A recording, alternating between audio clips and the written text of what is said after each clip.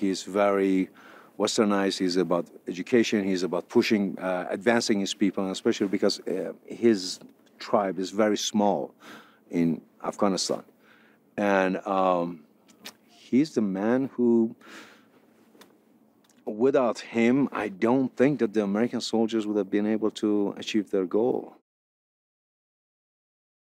He was able to transform into this uh, uh, military uh, the personality, transform into into a captain, into someone who is really dealing with all the uh, all the problems. He's right there. He's solving the problems. He's uh,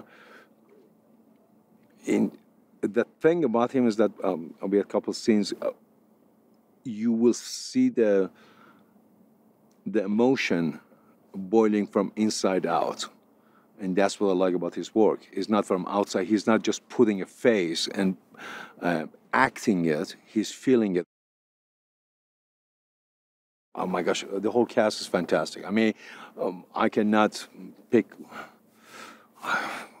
my gosh, I, I don't know. You're putting. me. I, I cannot pick and choose and say who's who's this, who's that. I mean, uh, we saw. I saw the teaser. Uh, Michael Shannon. Oh my gosh, unbelievable! This guy. You just look at his face. The things that's happening behind his eyes. Uh, it was. It was beautiful. Just beautiful.